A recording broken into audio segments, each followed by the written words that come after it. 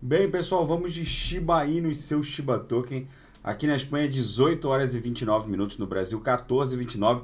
Vocês vejam que o Shiba Token está respeitando aqui a base da nuvem de Shimoku no diário. Ele está subindo 5,98 na métrica da TradingView. É, a BTC está promovendo nesse momento o transpasse de baixo para cima contra, no, contra a VWAP mensal.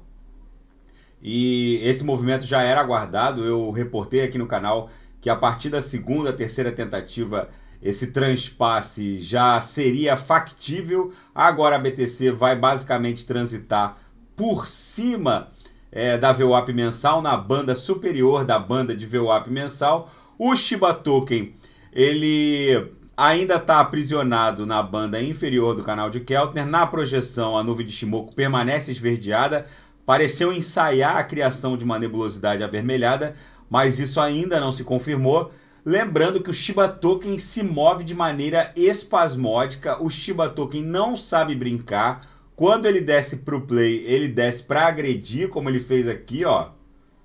Ele simplesmente rompeu a linha superior do canal de Keltner, fez um pullback e explodiu em direção ao all-time high na faixa de 8.800 e tantos microcents. Gente, é, é nítido que o Shiba Token está desenhando a cunha de uma grande figura triangular que deve redundar numa explosão ascendente para testar esse, esse topo aqui de, de 26, 27 de dezembro, que está na memória do mercado como tendo imposta essa corretiva aqui.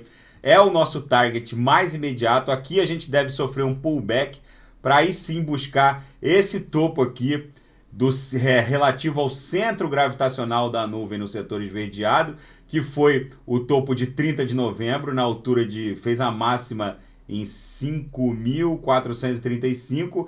Aqui a gente deve ter alguma, algum nível de lateralização. Esse movimento espasmódico deve acontecer, na minha leitura, nos próximos dias, que é quando o Divitim do Shiba, do ecossistema Shiba Inu, vai divulgar o calendário de venda dos Shiba Lands é, tem muita gente aqui no canal me questionando é, sobre o Div do, do ecossistema Shiba Inu. Ninguém conhece quem é o Ryoshi. É, o próprio Ryoshi, quando já foi perguntado sobre quem ele seria, ele disse que não era ninguém, que ele mesmo não era muito importante, seguindo mais ou menos a linha do Satoshi Nakamoto, que ao criar, que ninguém sabe se é uma pessoa ou uma instituição, que ao criar a Bitcoin também não não disse que também não era ninguém, que ele não era absolutamente importante, e sim a criação dele. Então, essa relação criador e criatura no, no, no, no ecossistema Shiba Inu respeita muito a linha é, do Satoshi Nakamoto quando da criação da BTC.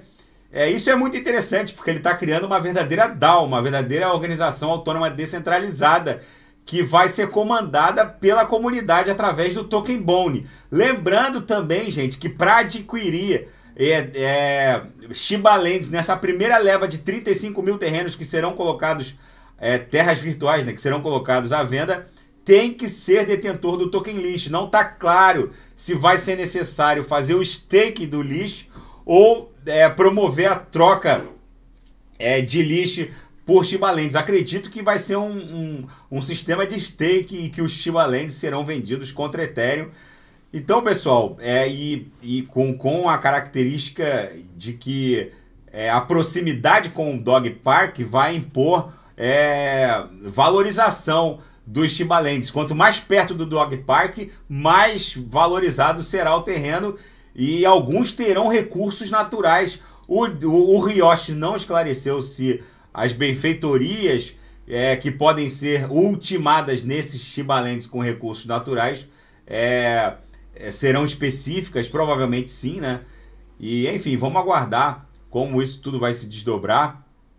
É, ó, o, a, eu também estava lendo aqui que as baleias da Ethereum é, é considerado uma baleia da, da, do ecossistema Ethereum quem tem mais de mil ETHs, mil Ethers. E tá batendo recorde a quantidade de baleias acumulando Shiba, é, token Shibas, né? É, o token nativo né, do ecossistema Shiba Inu. E agora uma última baleia comprou 49 bilhões de Shiba tokens. Mas enfim, eu tenho para mim que o, o Ryoshi tem uma relação estreita, se é que não é ele, o, com o Vitalik Buterin.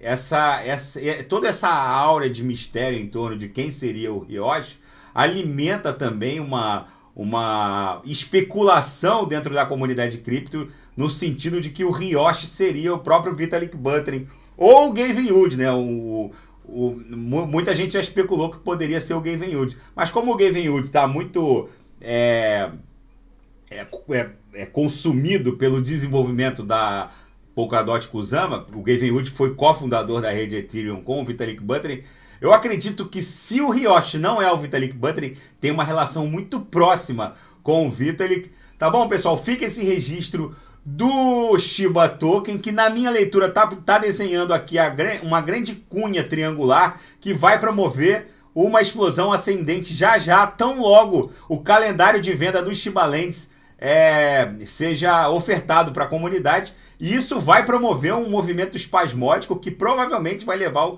o, Shiba Token para esses últimos topos, podendo até romper o all-time high na altura de 8.854, tá bom? Daqui a pouco eu volto para fazer a tríade do metaverso Mana Sandigala. Deixa eu ver quem tá disparando. Ó, a Sol voltando para 100 dólares, subindo mais de 10%.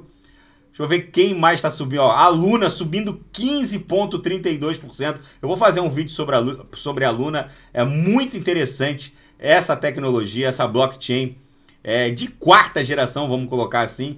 Tá bom, pessoal? Daqui a pouco eu volto. Quem quiser sugerir alguma análise é só colocar nas mensagens abaixo. Grande abraço, até daqui a pouco.